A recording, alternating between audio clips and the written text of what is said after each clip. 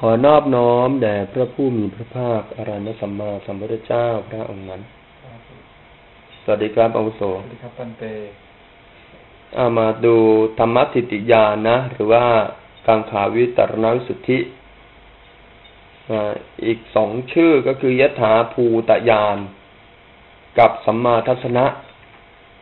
นะ หรือว่าปัจจยปริกหายานนั่นแหละเดียวกันหมดธรรมทิติยานหมายถึง ญาณที่รู้ที่ตั้งของธรรม ที่ตั้งแห่งธรรมนั่นก็คือเหตุของธรรมะที่เกิดขึ้นนั่นเองยถาภูตญาณนี่หมายถึง ปัญญาที่เข้าไปรู้ตามความเป็นจริงนะปัญญาที่เข้าไปรู้ตามความเป็นจริงอย่างไรนะยถาแปลว่าอย่างไรนะภูตะแปลว่าจริงสมมาทัศนะหมายถึงว่าเห็นโดยชอบกังขาวิตรณะหมายถึงข้ามความสงสัย ส่วนปัจจยปริกะญาณเนี่ย หมายถึงญาณที่เข้าไปกำหนดปัจจัย นั้นห้าชื่อนี้เป็นอันเดียวกันนะนะหลังจากที่ไข้ครวญพิจารณานะถึงความเป็นไปของธรรมะคือนามธรรมรูปธรรมเนี่ยโดยห้าในเลยนะห้าในก็ได้แก่อะไร ในแรกเป็นการพิจารณานามรูปโดยย่อนะก็คือพิจารณารูปก่อนว่ารูปนั้นเกิดจาก อวิชชา ตัณหา อุปาทานกรรมแล้วก็อาหาร ส่วนนามนั้นก็เกิดจากอะไรนะเกิดจากวัตถุทวารอารมณ์นะนามนั้นเกิดจากวัตถุทวารอารมณ์นะนี่โดยย่อในที่หนึ่งส่วนในที่สองเนี่ย พิจารณาละเอียดขึ้น ก็คือพิจารณาว่านามธรรมเนี่ย มีปัจจัยที่เป็นสาธารณะก็มี เป็นอาสาธารณะก็มี ปัจจัยที่เป็นสาธารณะของนามก็คือนี่แหละ นะวัตถุทวารอารมณ์เนี่ยนะเป็นปัจจัยสาธารณะนะ แต่เราก็สามารถจำแนกได้โดยปัจจัยละเอียดละเอียดเลย เช่นจักรุญญาณก็มีปัจจัยถึงเจ็ดสิบสองปัจจัยเลยนะ แล้วก็ปัจจัยที่เป็นอาสาธารณะก็หมายถึงเอานามธรรมมาแยกเป็นสี่ชาติ กุศลอกุศลวิบากกิริยาถ้ากุศลก็มีโยนิโสมนสิการสัตธรรมสนะการครบสัตว์บุรุษ การฟังธรรมะโยนโสนการอะไรอย่างเงี้ยนะเป็นปัจจัยเป็นต้นจากสี่นั่นแหละเป็นเหตุที่ทำให้เกิดกุศลนะ ส่วนอกุศลก็มีอายุนิโสมนสิการการไม่ครบสัตว์บุรุษการไม่ฟังพระสัตธรรมการไม่อะไร ไม่ทำบุญไว้แต่ปางก่อน ไม่มีอัตตะสัมมาปณิธินะอะไรพวกนี้ก็เป็นปัจจัยที่ทำให้เกิดอกุศล ส่วนวิบากก็เกิดจากกรรมเป็นปัจจัย เกิดจากคติอุปธิกาละประโยคะพวกนี้เป็นปัจจัย นะแล้วก็กิริยาก็เกิดจากอะไร เกิดจากสันติยรณะ เกิดจากวทัพนะเกิดจากภวัง เกิดจากความเป็นพระอรหันต์เนี่ยพวกนี้ก็เป็นปัจจัยแก่กิริยา นี่เป็นอาสาธารณะปัจจัยของนาม ส่วนรูปก็มีปัจจัยคือกรรมจิตอุตุแล้วก็อาหารเป็นปัจจัยนะซึ่งก็จำแนกมาว่ากรรมก็ได้แก่เจตนายี่สิบห้าจิตก็จิตเจ็ดสิบห้านะอุตุก็ธาตุไฟที่เกิดจากทั้งสี่สมุทฐานนั่นแหละกรรมปัจจยะอุตุ จิตตปัจจยะอุตุอุตุปัจจยะอุตุอาหารปัจจยะอุตุ อันนี้เป็นตัวสมุทฐานของอุตุชรูป ส่วนอาหารก็สี่อย่างเหมือนกันเลยกรรมปัจจยะโอชากรรมปัจจยโอชา จิตตปัจจยะโอชา อุตุปัจจยะโอชา อาหารปัจจยะโอชา ก็เป็นปัจจัยที่ทำให้เกิดอาหารชรูปนะพินานี้โดยนัยยะที่สองนัยยะที่สามก็คือพิจารณาโดยปฏิจจสุบาทฝ่ายปฏิโลมนะจรามรณะมีเพราะอะไรเพราะว่าชาติเป็นปัจจัย นะถ้าไม่มีชาติจรามรณะก็ไม่มีชาติมีเพราะอะไร ก็เพราะว่ามีภพเป็นปัจจัยถ้าภพไม่มีชาติก็ไม่มี ก็พิจารณาย้อนขึ้นไป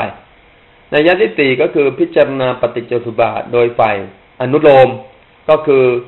อวิชชานั่นแหละ เป็นปัจจัยจึงมีสังขารถ้าไม่มีอวิชชาสังขารก็ไม่มี สังขารเป็นปัจจัยแก่วิญญาณนะวิญญาณก็มีปัจจัยก็คือเจ้าสังขารนั่นแหละ เจ้าสังขารไม่มีวิญญาณก็ไม่มีก็ไล่ไปจนตั้งถึงชรามรณะ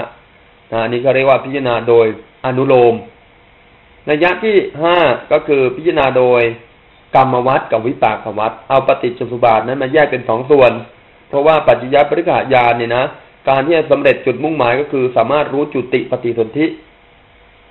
ของตนของสัตว์นะพอรู้ว่าจุติมันเป็นผลของกรรมนะจุติปฏิสนธิเป็นผลของกรรมนะ เพราะนั้นเนี่ยกรรมใดนำทำให้เกิดจุติปฏิสนธิอะไรเนี่ย สามารถที่จะเข้าใจแจ่มแจ้ง เอากรรมสิบสองมาพิจารณานะมาประยุกต์มาเทียบเคียงแล้วก็พิจารณาไปถึงชีวิตนะถ้าเกิดเรามาเรียนธรรมะอย่างนี้เอ๊ะจุติปฏิทินี่มันจะเป็นกุศลวิบากหรืออกุศลวิบากเนี่ยก็ต้องเป็นกุศลวิบากต้องเป็นกุศลวิบากแต่ว่าเมื่อมีปฏิทินะจุติก็รอไว้แล้วใช่ไหมครับนะแต่ว่าก็เป็นผลของกุศลวิบากเหมือนกันแต่ถ้าทำบาปอกุศลกรรม นะปฏิทิมันก็ต้องเป็นอกุศลวิบากนะจุติก็ต้องเป็นอกุศลวิบากเหมือนกันดังนั้นก็ต้องอย่างรู้เรื่องของกรรม และวิบากของกรรมนะโดยเอากรรมสิบสองนั่นแหละมาเทียบเคียงนะอันในยะที่ห้านี่ก็พูดถึงกรรมวัดกับวิปากวัดนะพวกกรรมกับกิเลสนะก็คือห้าอย่างนะกรรมกิเลสห้าอย่างก็ได้แก่อวิชชาเป็นกิเลสนะแล้วก็สังขารเป็นกรรมนะ ตัณหาเป็นกิเลส อุปาทานเป็นกิเลสภพกรรมภพเป็นกรรมห้าอย่างนี้ ในอดีตเป็นปัจจัยที่ทำให้เกิดวิญญาณนามรูปสลายตนะผัสสะเวทนา ก็คือวิบากและกรรมชรูปในปัจจุบัน วิบากกรรมชรูปปัจจุบันห้าอย่างเนี้ยก็คือวิญญาณนามรูปสลายตนะผัสสะเวทนาในปัจจุบัน ก็เป็นปัจจัยแก่กิเลสและกรรมในปัจจุบันเหมือนกัน ก็คือตัณหาเป็นกิเลส อุปาทานเป็นกิเลส กรรมภพเป็นกรรม อวิชชาเป็นกิเลส สังขารเป็นกรรมนะ อภิสังขารสามนั้นเจ้าตัณหา อุปาทาน กรรมภพอวิชชาและสังขารในปัจจุบันนี้ ก็จะเป็นปัจจัยแก่วิบากกรรมชรูปในอนาคตชาตินะก็คือวิญญาณนามรูปสรายตนะผัสสะเวทนานะก็เป็นปัจจัยอย่างนี้ต่อไปสืบไปเรื่อยๆก็เป็นปฏิจจสุบาทนั่นแหละ แต่ว่าเอาปฏิจจสุบาทนั้นมาแยกเป็นกรรมวัดกับวิปากวัด นะเมื่อพิจารณาอย่างนี้ไปนะ ก็พิจารณาให้เห็นโดยสามการเลยว่า อดีตการนะไอ้นามรูปเหล่านี้มันก็มีปัจจัยอย่างนี้แหละอนาคตการนามรูปเหล่านี้ก็มีปัจจัยอย่างนี้แหละ แม้ปัจจุบันนี้ขณะนี้ที่กำลังพิจารณาอยู่นามรูปก็มีปัจจัยอย่างนี้แหละพิจารณาจากปัจจุบันก่อนนะ แล้วย้อนไปในอดีตย้อนไปอนาคตเพราะนั้นเวลาที่พระเจ้าแสดงใช่ไหมนะอ้าวก็แสดงอดีตก่อนนี้นะอตีตานาคตะปัจจุบันนา อตีตานาคตะปัจจุบันนานะพิจารณาถึงอดีตก่อนแล้วพิจารณาถึงอนาคตเราก็จะต้องจะได้เห็นแจ่มแจ้งในปัจจุบันนี้แต่ว่าไอตอนพิจารณาปัจจยปริกะญาเนี่ยพิจารณาปัจจุบันก่อน เมื่อพิจารณาปัจจุบันแล้วก็เทียบเคียงย้อนไปในอดีตว่าเป็นอย่างนี้เหมือนกันแล้วก็อนาคตก็เป็นอย่างนี้เหมือนกัน เพราะว่าปัจจุบันเนี่ยมันใกล้ชิดกว่ามันเห็นง่ายกว่านะก็เทียบเคียงไปในอดีต แล้วก็อนาคตก็สามารถที่จะละความสงสัยในการทั้งสามได้ คือในอดีตก็ไม่ได้มีเรา ในอนาคตก็ไม่ได้มีเรา แม้ปัจจุบันนี้ก็ไม่ได้มีเราเหมือนกัน เพราะอะไร เพราะว่าไอ้นามรูปที่เราสำคัญมั่นหมายว่าเป็นเราความจริงแล้วมันเกิดจากปัจจัยต่างหากซึ่งปัจจัยนั้นก็จะไม่พ้นจากนามรูปใช่ไหมนั้นนามรูปก็เป็นปัจจัยแก่นามรูปไม่ได้มีใคร ไม่ได้มีอะไร แล้วก็ไม่ได้มีเราอยู่ที่ไหน อันนี้ก็จะข้ามความสงสัยในการทั้งสามได้นะอาจารย์ครับขออนุญาตครับทำไมถึงไปพิจารณาอดีตจุอนาคตก่อนครับ เอ่อ อันนั้นโดยในยะของพระสูตรนะนัยะของสูตร นะ ที่ท่านแสดงให้พิจารณารูปนะโดยที่เป็นอดีต อนาคต ปัจจุบันไกลใกล้หยาบละเอียดตามประณีตนะแล้วค่อยย้อนมาในปัจจุบัน อ่า ในสมมติสัญญาณก็พิจารณาอย่างนี้ พิจารณาอดีตก่อนพิจารณาอนาคตแล้วก็พิจารณาปัจจุบันอ่าถามว่าปฏิจจสมุปบาทนี้คุณพิจารณาอะไรก่อน พิจารณาสมุปบาทแล้วครับเอาก็ความจริงแล้วมันเริ่มมาจากไอ้พวกสลายตนะนี่มันก็เป็นปัจจุบันนะครับเพราะนั้นพิจารณาได้สามอย่างนะครับปฏิจจสมุปบาทเนี่ยพิจารณาจากอวิชชามาก่อนก็ได้ใช่ไหมเขาเรียกว่าอนุโลม พิจารณาจากชารามรณะมาก่อนได้ไหมได้เรียกว่าปฏิโลม พิจารณาจากสลายตนะได้หรือเปล่าได้ครับก็เรียกว่าปัจจุบันนะ นั้นพิจารณาอวิชชาเป็นอดีต พิจารณาชรามรณะเป็นอนาคต พิจารณาสลายตนะเป็นปัจจุบันนั้นพิจารณาได้ตั้งหลายในนะครับนั้นถ้าปัจจยปริกายานี่ก็ให้พิจารณาปัจจุบันก่อน แล้วก็พิจารณาอดีต แล้วก็พิจารณาอนาคต แต่ถ้าสมมติสัญญาณนะพิจารณาอดีต อนาคตแล้วก็ปัจจุบัน โดยตามในพระสูตรนะ มีพระสูตรส่วนไหนไหมครับที่ที่มีการให้เหตุผลว่าทำไมอดีตอนาคตถึงไปพิจารณาก่อนแล้วมาพิจารณาปัจจุบันตรงกลางนั่นเหมือนก็เคยได้ยินเหตุผลมาจากไหนก็ไม่ทราบครับอาจารย์เงว่ายังไงอะไม่ไม่ไม่แน่ใจครับเออพิจารณาอดีต ถ้าผมพูดก็คงจะคล้ายๆเดาเอาก็เลยอยากถามอาจารย์ก็ผมก็เดาเงินครับนะก็เดาอะนะจริงๆแล้วพิจารณาได้ทั้งสองในแหละนะแต่พิจารณาอดีตก็เพราะว่าอดีตเนี่ยมันเป็นสิ่งที่ผ่านมาแล้ว มันเป็นประวัติศาสตร์ เป็นประสบการณ์อ่าซึ่งจริงแล้วเนี่ย ทุกคนที่หวังความเจริญในปัจจุบันส่วนใหญ่ก็ศึกษาประวัติศาสตร์ใช่ไหมครับใช่ป่ะครับเพราะประวัติศาสตร์เนี่ย มันจะเป็นเขาเรียกว่าอะไรเขาเรียกว่าเป็นแบบนะ หรือว่าเป็นสิ่งที่เราไม่ทำให้เกิดแนวความคิด ไม่ต้องเรียนแบบเขาทั้งหมด หรือใครจะเรียนแบบก็ได้นะถ้าประวัติศาสตร์ที่ดีๆใช่ไหมถ้าประวัติศาสตร์ที่ไม่ดีก็คือจะต้องเลิกจะต้องพยายามป้องกันสิ่งนั้นใช่ไหม นะเคยภูเขาไฟระเบิดที่ไหนยังไงเขาต้องไปศึกษาหมดเลยนะหรือว่าประวัติของบุคคลสำคัญต่างๆเนี่ยประวัติของเขาเป็นยังไงบ้างนะเขาทาอะไรมาเขาถึงเจริญ แล้วก็ไปทำอะไรเขาถึงร่มจมนะก็ต้องศึกษาใช่ไหมอันก็เหมือนกันที่ศึกษาในอดีตก็เพื่อจะมาเทียบเคียงในปัจจุบันนะเพื่อจะอย่างรู้ในอนาคตด้วย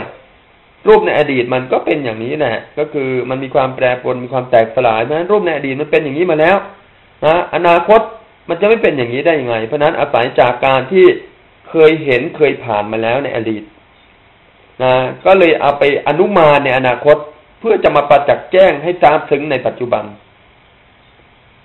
นะก็พิจารณาจากอดีตไปอนาคตแล้วก็ปัจจุบัน คราวนี้สำหรับในปัจจยปริกาญาณเนี่ยครับพิจารณาปัจจุบันนี้แหละ ซึ่งจริงนะมันก็อาจจะเป็นปัจจุบันแบบอนุมานนะนะทั้งจริงแล้วเราอาจจะพิจารณาโดยเรื่องก่อนใช่ไหม เป็นเรื่องแล้วถึงจะน้อมมาที่ชีวิต ครับเพราะความจริงปัจจุบันมันก็ปัจจุบันทั้งชาตินะนะครับใช่ปัจจุบันทั้งชาติมันก็เป็นอดีตอนาคตได้ครับใช่ไหมแต่ว่าเขาไม่ได้พิจารณาชาติเดียว พิจารณาหลายชาติ ปัจจุบันเนี่ยนะครับใช่ ปัจจุบันหลายชาติด้วยเหรอครับ ปัจจุบันชาติเดียวอ๋อปัจจุบันมีหลายอย่างไงครับปัจจุบันอัตตาปัจจุบันสมัย ปัจจุบันสันตติ ปัจจุบันขณะอ่าซึ่งปัจจุบันอัตตามันก็เป็นได้ทั้งอดีตทั้งอนาคตนั่นแหละ เพราะว่าพรุ่งนี้ก็ยังเป็นปัจจุบันอยู่ครับพรุ่งนี้เป็นปัจจุบันชาติใช่ไหมอ่าอดีต อดีตมันก็มีทั้งอดีตอัตตาอดีตสมัย อดีตสันตติแล้วก็อดีตขณะอ่าเมื่อครู่นี้ก็เป็นอดีตไปแล้ว โดยขณะอ่ามันก็พิจารณาได้ทั้งหลายอย่างจุดประสงค์ก็คือ เพื่อที่จะให้คลายความเห็นผิดละเอียดขึ้น เพราะว่าถ้าถึงระดับปัจจยปริกาญาณต้องเข้าใจนามรูปอย่างทองแท้แล้ว เข้าใจนามรูปอย่างดีแล้ว เห็นแจ้งในนามรูปประจักษ์ในนามรูปแล้วนะไม่เข้าใจผิดแล้ว แต่เสื่อมได้ไหมเสื่อมได้หรือว่าได้ครับเสื่อมยังไงปัจจยคปริหาญาณะเนี่ยครับเอ่อทั้งนามารูปะทั้งปัจจยปริกาเลยเนี่ยเสื่อมยังไงอะเอาก็ไม่เลิกพิจารณา มันอีกหน่อยมันก็กลับไปเหมือนเดิมนะครับอืม แต่เลิกพิจารณาแล้วกลับมาพิจารณาเนี่ย มันจะดีไหมเลิกเลิกไปแล้วแล้วก็กลับมาใหม่อะนะเออ กลับมาเนี่ยมันจะดีกว่าคนที่ไม่เคยเจริญหรือเปล่า มันก็ต้องดีกว่าเพราะมีความชำนาญเพิ่มขึ้นนะอะอย่างนี้แหละเขาเรียกว่าเสื่อม เคยเจริญได้แล้วเจริญไม่ได้เนี่ยนะครับเสื่อมนะเคยเจริญได้แล้วก็ไม่เจริญต่อไปนี่เรียกว่าเสื่อมนะครับอ่าเพราะฉะนั้นพวกนี้เสื่อมได้ ต่อไปนะ ในเมื่อเธอสามารถที่จะพิจารณาปัจจัยนามรูปโดยนัยยะต่างๆจนตั้งสามารถที่จะสงบกิเลส นะประเภทความสงสัยสิบหกประการ ความสงสัยแปดประการ พร้อมทั้งทิฏฐิโหนสองนี่นะ เพราะความสงสัยในที่นี้เนี่ยเขาพูดถึงความสงสัยเป็นประธาน แต่ความจริงแล้ว มันเป็นเรื่องของทิฏฐินะความสงสัยว่าในอดีตมีเราหรือเปล่าในอนาคตมีเราเราเป็นอะไรมาจากไหน เรามีหรือไม่มีนะอะไรพวกนี้นี่มันเป็นความสงสัยที่มันเป็นไปกับทิฏฐิทั้งนั้นเลยนะเป็นทิฏฐิมีทิฏฐิเป็นประธาน ความยึดถือด้วยความเห็นผิดว่ามีเรา เมื่อมีเราก็เลยความสงสัยว่า เอ๊ะเรามีมาก่อนหรือว่าเราไม่มีนะเรามีแล้วเราจะไปเป็นอะไรนะเคยเป็นอะไรมาก่อน อันนี้มันก็เป็นเรื่องของทิฏฐินะสกกายทิฏฐินั่นแหละ ก็จะสามารถระงับไปได้ โดยข่มเอาไว้นะโดยการข่มไว้ด้วยวิปัสสนานะความจริงแล้วมันก็เป็นตะทางพระประหารนั่นแหละ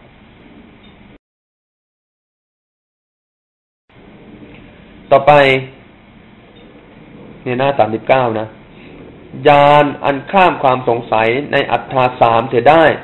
ด้วยการกำหนดจับปัจจัยของนามรูปโดยในต่างๆ ดังกล่าวมานี้แล้วแลตั้งอยู่ พึงทราบว่าชื่อว่ากังขาวิจารณวิสุทธินะคือความหมดจดในการข้ามความสงสัยในการทั้งสามคำว่าธรรมะถิติยานก็คือญาณที่รู้ในเหตุที่ตั้งนะของธรรมะว่าดีคำว่ายถาภูตยานก็คือ ญาณความรู้ตามความเป็นจริงก็ดีคำว่าสัมมาทัศนะก็คือเป็นความเห็นชอบก็ดี ก็เป็นไวยพจน์ของคำว่ากังขาวิตรณวิสุทธิอีกคำหนึ่งก็คือ ปัจจยปริขายานนะ จึงอยู่คำต่อไปนี้ท่านพระสารีบุตรเถระก็ได้กล่าวไว้ว่าอาวิชชาเป็นปัจจัยคือเป็นเหตุ สังขารทั้งหลาย เป็นปัจจยุบันก็คือเป็นผลธรรมะทั้งสองนั้นก็เป็นปัจจยุบันด้วยก็คือเกิดแต่เหตุด้วยนะ นนี้ก็ไม่ได้พูดตามปฏิสัมพิธามัคปฏิสัมพิธามัคก็ใช้คำนี้ว่าอวิชชาเนี่ย เป็นเหตุแห่งสังขาร สังขารเนี่ยเกิดแต่เหตุนะอวิชชาและสังขารก็เกิดแต่เหตุนะธรรมะทั้งสองเนี่ยก็เกิดแต่เหตุด้วยกันนะ เพราะวิชาก็มีปัจจัยเหมือนกัน ปัญญาในการกำหนดจับปัจจัยโดยในดังนี้ เป็นต้นชื่อว่าธรรมทิติยานก็คือรู้ที่ตั้งแห่งธรรมคือรู้ปัจจยธรรมนี่นะวิญญาณเกิดแต่สังขารเป็นปัจจัยนะสังขารก็มีปัจจัยทำให้เกิด ทั้งสังขารและวิญญาณก็เกิดแต่ปัจจัย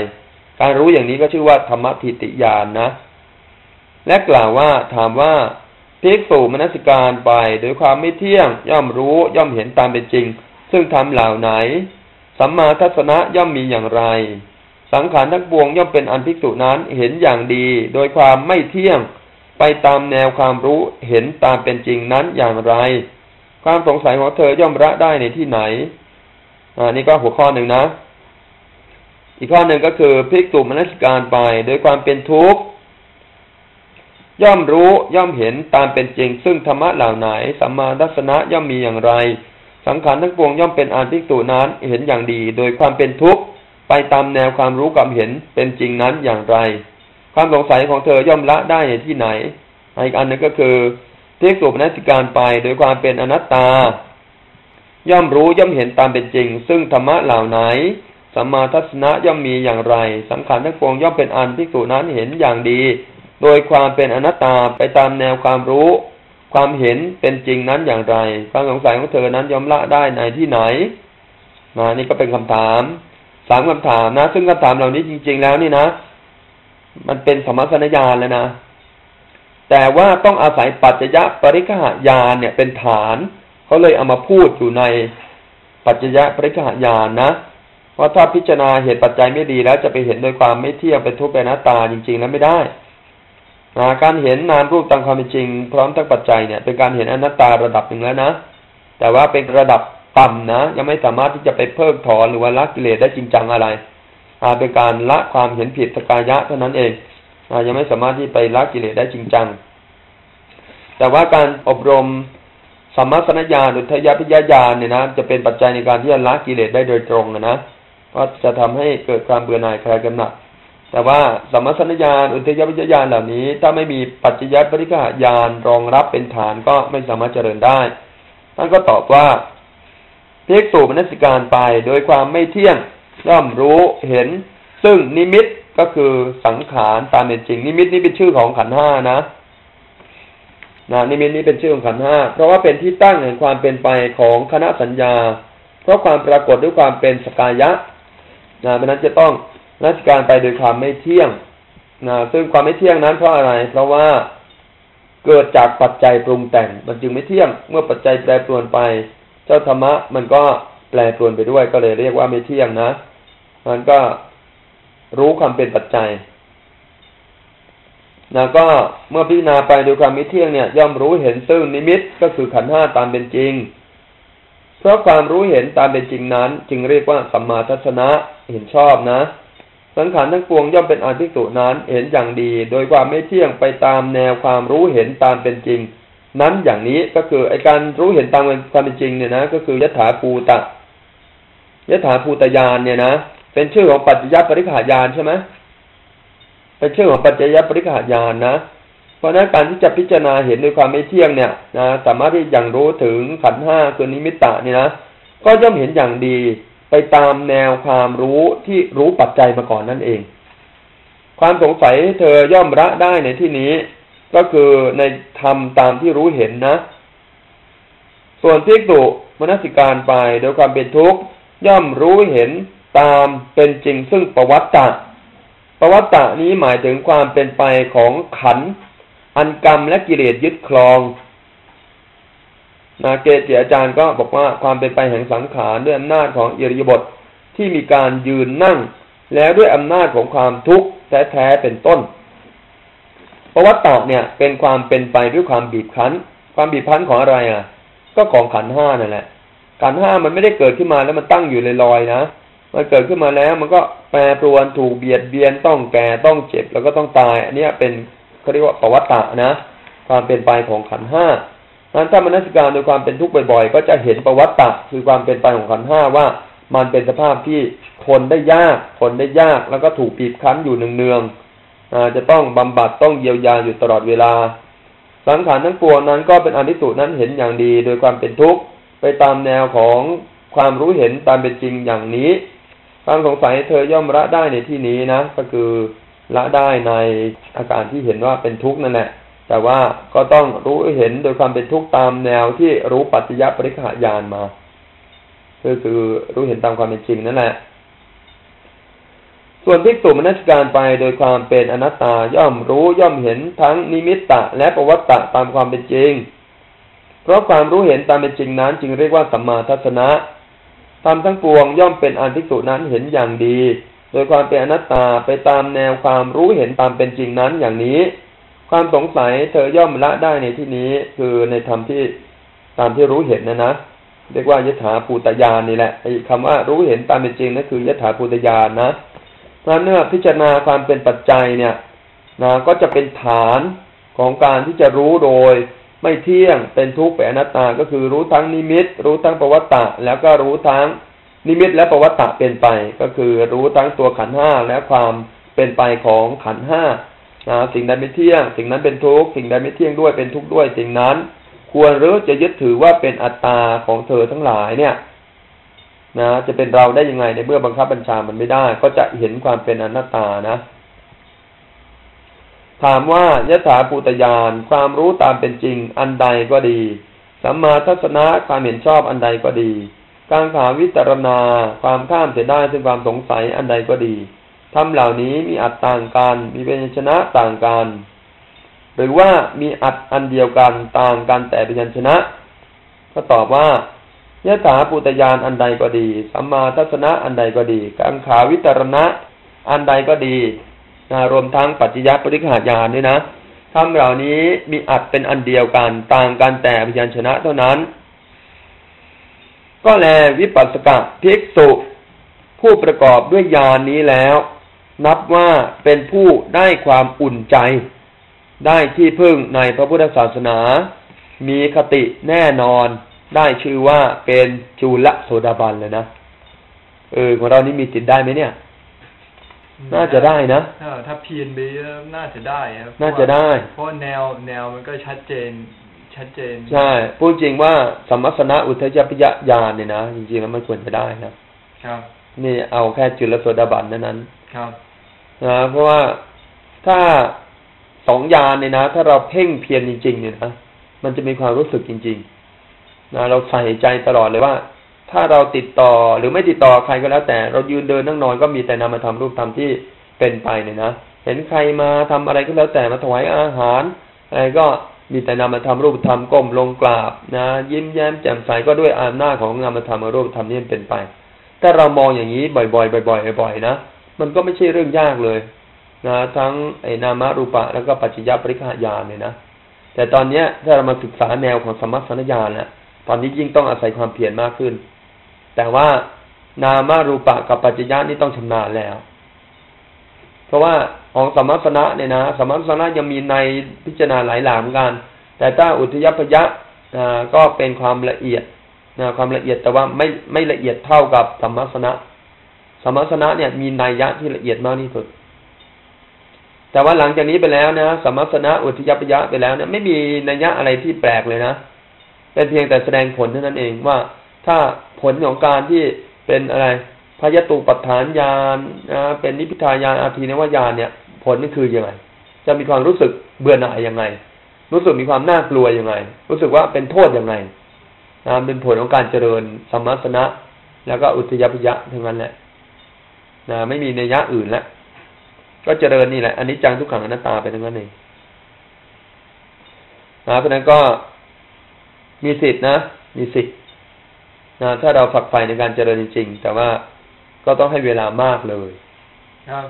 เพราะว่าเพราะว่าดูพิจารณาดูอย่างเช่น อย่างเช่นบอกว่าไอ้คนที่เขาได้ฌานนะครับหรือไม่ก็อุปจาระเขาไปเกิดในสวรรค์ยังไง เนี่ยเพราะว่า เขาวันวันหนึ่งเขาไม่ทำอะไรนะครับเขามีแต่พิจารณาในเรื่องของฌานทีนี้ถ้า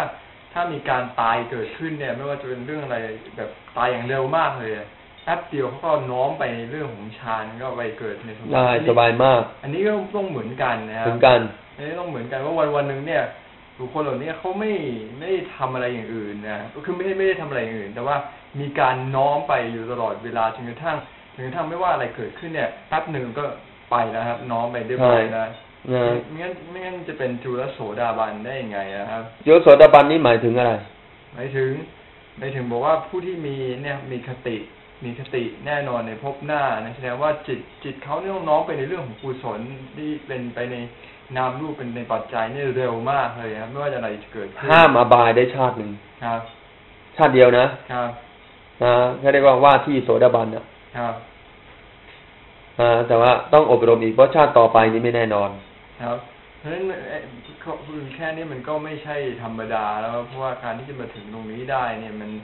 มันต้องใช้ใช้ภาคเพียรมากเพียรอย่างมากเลยนะครับใช่เหมืนกับต้องภาคเพียรคือต้องเห็นจริงอะครับต้องเห็นจริงต้องเห็นคนสัตว์เนี่ยเป็นนามรูปหมดครับนะเห็นอะไรก็น้อมไปในนามรูปหมด สติจะต้องเร็วมากนะเพราะฉะนั้นก็เอ่อความตายก็ไม่ใช่เป็นเรื่องที่ จะไปเป็นอุปสรรคในการที่จะห้ามการเจริญวิปัสสนานะครับความอะไรนะครับความความตายอะครับความตายไม่ได้ทำให้เป็นการห้ามการเจริญวิปัสสนาหมายถึงว่ากำลังใกล้จะตายอะครับนะเขาก็สามารถที่จะพิจารณานำทำรูปทำได้เพราะว่าโดยปกติก็เจริญมาตลอดใช่ไหมครับนะเพราะเหตุนั้นภิกษุผู้มีความต้องการด้วยกังขาวิสรณวิสุทธิ พึงเป็นผู้มีสติกำหนดจับปัจจัยทั้งหลายแห่งนามรูป โดยประการทั้งปวงทุกเมื่อเทิน อันนี้ก็จบกังขาวิตรณวิสุทธินิเทศนะนะเป็นเชตที่สิบเก้าดูดีการนิดนึงสำหรับกังขาวิตรณวิสุทธิเนี่ยนะคำว่าก็ย่อมเป็นอันเธอรู้ได้ด้วยอำนาจุติและปฏิสนธินี่หมายถึงว่าพิจารณาเรื่องกรรมวัฏวิปากวัฏนะ แล้วก็สามารถรู้ในความเป็นจุติปฏิสนธิได้เลย ชื่อว่า ย่อมเป็นอันเธอรู้ได้ด้วยอำนาจจุติและปฏิสนธิ เพราะเธอได้กระทำการกำหนดปัจจัยด้วยอำนาจกรรมวัฏและวิปากวัฏก็ทำทั้งหลายที่นับเนื่องด้วยการทั้งสามย่อมเป็นอันทิกตุและความสงสัยในการทั้งสามด้วยอำนาจ การเห็นนามรูปพร้อมทั้งปัจจัยตามในที่กล่าวแล้ว รู้ได้ด้วยอำนาจจุติและปฏิสนธิในอดีต ปัจจุบันภพและอนาคตการมิใช่เป็นอันเธอรู้ได้ เพราะมิได้กระทำการกำหนดจับอย่างนั้น มิใช่เป็นอันเธอรู้ได้ เพราะมิได้กระทำการกำหนดปัจจัยอย่างนั้นด้วยอำนาจทำไปตามบททำไปตามบทนี้หมายถึงว่าไม่ได้เห็นจริง ๆ นะไม่ได้เห็นแบบตาทิพย์นะนะ แต่ไปเห็นว่าโดยปัญญาในการที่รู้ว่าความเป็นจริงของกรรม คือต้องทำให้เกิดวิบากนะ และถ้าเป็นกุศลกรรมก็ต้องนำปฏิสนธินะแล้วก็มีประวัตินะอกุศลกรรมก็เหมือนกัน นะไม่ได้เห็นแบบทิพยจักขุการระลึกชาติได้นี่มีสองอย่างนะระลึกชาติได้แบบปุเพนิวาสานุสติญาณกับระลึกได้โดยวิปัสสนา เออ ในอะไรอะสังยุตตนิกาย คันธวารวักอะท่านแสดงไว้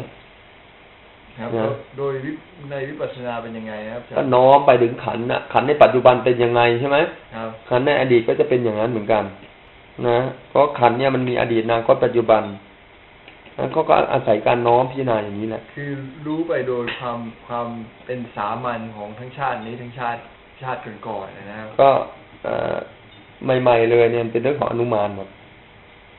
คนเจริญใหม่ๆเนี่ยอนุมานทั้งนั้นนะครับ แต่ว่า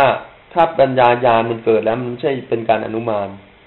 เหมือนกับการอ่านหนังสือตามครู กับการอ่านได้เองใช่ไหมนะไอ้ใหม่ ๆ ก็คืออ่านตาม อ่านตามมากขึ้นมากขึ้นมากขึ้นมากขึ้น ก็อ่านเองได้ นี่ก็เหมือนกันคำว่าความรู้ของเธอนั้นเป็นยาตะปริญญานะระดับนามารูปปริเฉดกับปัจจยปริกหายานเนี่ยนะ เป็นยาตะปริญญานะ คือเป็นความรู้ที่เกิดจากการเรียนรู้มาก่อน ต้องมีภูมิของปริยัติมีวิปัสสนาภูมิมาก่อนนะ ความว่าเธอย่อมทำการกำหนดจับนามรูปและกำหนดจับปัจจัยของนามรูปนั้น ด้วยความรู้ใด ความรู้นั้นของเธอคือของโยคีชื่อว่าเป็นยาตะปริญญา เพราะทำคำอธิบายว่า เป็นปัญญาที่มีความรู้ด้วยอำนาจการกำหนด โดยในเป็นต้นว่า นี้เป็นนาม นามมีเท่านี้ และโดยในเป็นต้นว่า นามนั้นมีปัจจัยนี้ มีปัจจัยเท่านี้ ดังนี้ ถ้าไม่ได้เรียนมาจะกำหนดได้ไหมนะกำหนดไม่ได้ เพราะนั้นนี่ไม่รู้ว่าบางท่านเคยได้ยินบอกนะ แต่ว่ายังไม่เจอพยัญชนะ บอกว่าสองยานเนี่ยเป็นยานปริยัตินะเป็นยานปริยัตินะ เพราะว่ามันเนื่องด้วยปริยัติแต่ว่าในตำรายังไม่เคยเจอ แต่ว่ารู้ว่าต้องอาศัยการศึกษามา ถ้าไม่ศึกษามามันน้อมไม่ได้ หรือจะรณาไม่ออก ไม่มีคนมีคนก็บอกอาจจะตามตามลักษณะใช้เพียรชนะในดีกาบอกเป็นยานที่รู้แล้วหรือเปล่าครับ ไม่ใช่ยานที่รู้แล้วยานที่รู้แล้วก็ไม่ต้องมาเจริญสิครับก็นั่นนะครับก็ยานที่ได้เรียนรู้มานะยาตะปริญญา ปริญญาเนี่ยแปลว่าการเข้าไปรู้โดยรอบ เข้าไปกำหนดรู้ หรือว่ารู้โดยรอบ แต่ว่ารู้ในสิ่งที่ตัวเองรู้มาแล้ว รู้มาจากไหนล่ะ จากการศึกษา ใช่ไหมครับเออปริญญาก็คือเป็นการกำหนดรู้ ยาตะก็แปลว่ารู้แล้วแล้วกำหนดรู้กับรู้แล้วมันเกี่ยวอะไรกันอะ ไอ้รู้แล้วเนี่ยเป็นอดีตนะครับอดีตเพราะนั้นก็หมายถึงว่าเรียนรู้มาแล้วเข้าใจมาแล้ว แต่ว่าต้องเอามาทำปริญญาอีกทีหนึ่งคือมากำหนดรู้อีกทีหนึ่งครับเพราะอะไรเพราะว่าอันนั้นเป็นเรื่องของขั้นปริยัติ เรื่องขั้นการศึกษามันไม่ใช่เป็นเรื่องของขั้นการปฏิบัติ